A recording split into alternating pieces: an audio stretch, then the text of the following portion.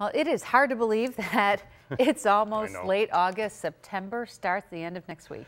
But farmers have been thinking about it, especially those with pumpkins. And Channel 2's Jennifer Stanonis went to the farm in the, the southern tier today where they explain the process of growing pumpkins. We're all still thinking summer, but pumpkin farmers are already thinking fall, especially since the window for pollinating pumpkins is coming to an end, which is today for this farm in Great Valley. we could see the bees that are working here.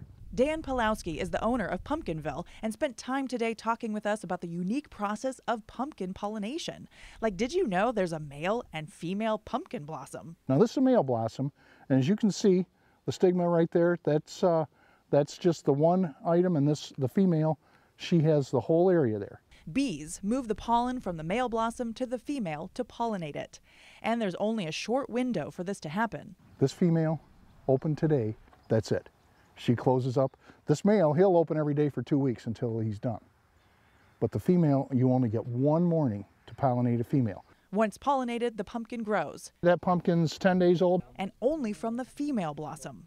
You have the green pumpkin at the base, the little pumpkin, or if it's a squash or a gourd or anything like that, your fruit is right at the base of that female pumpkin, and on a male pumpkin, there is none. Pumpkin pollination began in late July and is now wrapping up so that the pumpkins will be ready for harvest to begin as early as September.